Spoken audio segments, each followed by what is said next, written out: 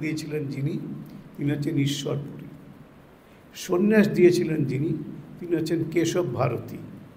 এই দশনামী সম্প্রদায়, শঙ্করাচার্য প্রবর্তিত যে দশনামী সন্ন্যাসী সম্প্রদায়, তার মধ্যে একটা হচ্ছে পুরী সম্প্রদায় ঈশ্বরপুরী হচ্ছে পুরী সম্প্রদায়ের সন্ন্যাসী। তিনি শ্রী চৈতন্যকে দীক্ষা দান করেছিলেন, মন্ত্র দীক্ষা। আর কেশব ভারতী হচ্ছেন ওই দশনামী সম্প্রদায়েরই ভারতী সম্প্রদায়ের সন্ন্যাসী, তার নাম কেশব ভারতী।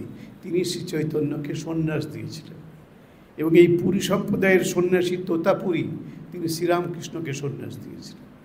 যেন আমাদের ঐতিহ্যে আমরা পুরী এবং ভারতী দুজনকেই পাই। শ্রী চৈতন্য, আমাদের পূর্বসূরি, আবার শ্রীরামকৃষ্ণ তোতাপুরীর কাছ থেকে সন্ন্যাস পেয়েছেন শ্রী চৈতন্য পেয়েছেন কেশব ভারতীর কাছে। ভারতীয় সম্প্রদায়, ওটাও দশটামী সম্প্রদায়ের মধ্যে। মন্ত্রদীক্ষা হয়েছে ঈশ্বরপুরীর কাছে, তার ভিটেটা আছে ওই হংসেশ্বরী মন্দিরের কাছাকাছি।